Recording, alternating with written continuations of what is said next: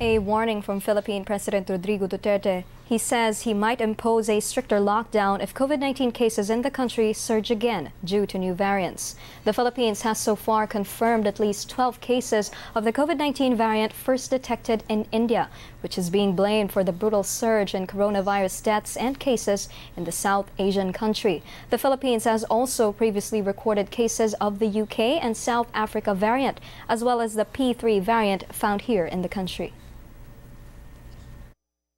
Ang pag-asa natin is really the obedience. Parang Boy Scout. You want to end the danger of uh, COVID-19 engul- engulfing this country. E pag hindi, then mapipilitan again ako na to impose uh, lockdowns and everything at mag- mag-i-stricto ang gobyerno. Under other circumstances, sabihin ko, ayaw ko it would work hardships on the people.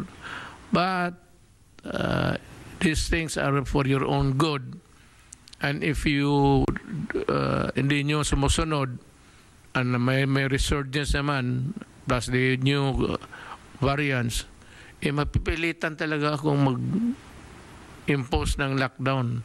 Maybe stricter this time because hindi natin alam kung anong variants yan.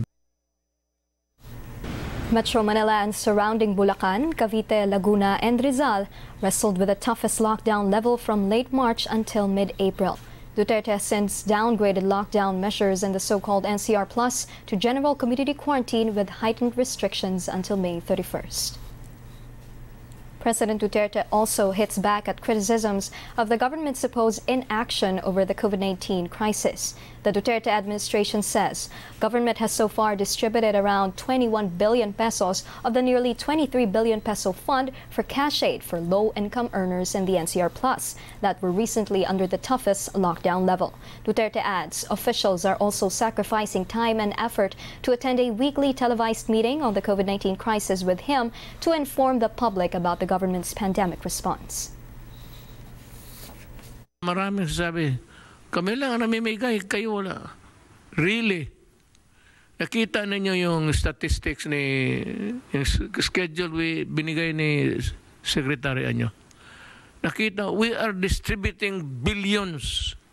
Billions yan. Namimigay kami ng ayuda sa mga may hirap. Yun lang talagang may hirap. So, sabi niya, walang ginawa ang gobyerno. Nauna pa kami noon. And we are giving money. Uh, yun lang ang pinaka most expeditious way of doing it.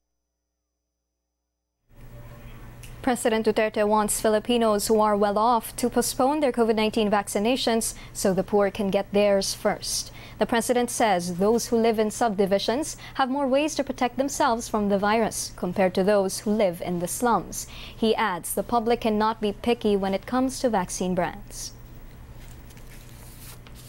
Karamihan yung meron naghihintay ng mga US, Moderna, Pfizer. Eh, sabi ko, hindi mangyari yan. Kung ano ang nasa harap ninyo, kay mamilyonaryo ka o mahirap ka, yun na yung iyo. Wala ka ng...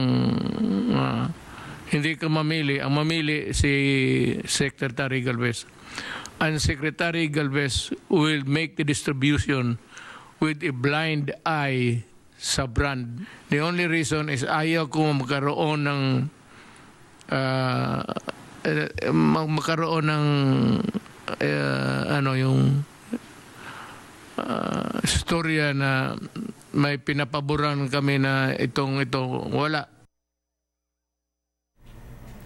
The Philippines needs to vaccinate at least 16 million people in the top priority sectors to contain the spread of COVID 19 in the country. That's according to Vaccine Chief Carlito Galvez Jr. So far, the country has administered over 3 million vaccine doses.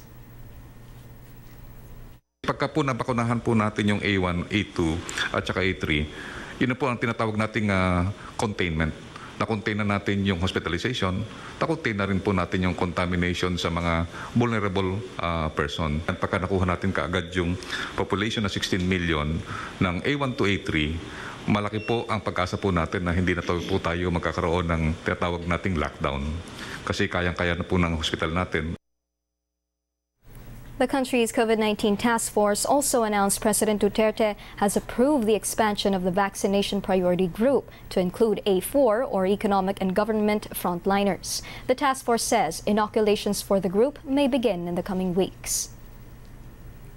The Philippine Red Cross sets the record straight on its reported plan to sell Moderna's COVID 19 vaccines. On Monday, news outlets reported Philippine Red Cross Chairman Senator Richard Gordon supposedly announced the agency will be selling Moderna's drug for 3,500 pesos. In a statement, Red Cross Governor Maria Carissa Coscuela clarified the senator never announced any plans to sell the vaccines. But Gordon did say the Moderna jabs procured by the Philippine Red Cross were intended for the vaccination of members and donors willing to bear the cost. She maintains Red Cross is a humanitarian organization and is not in the business of selling vaccines.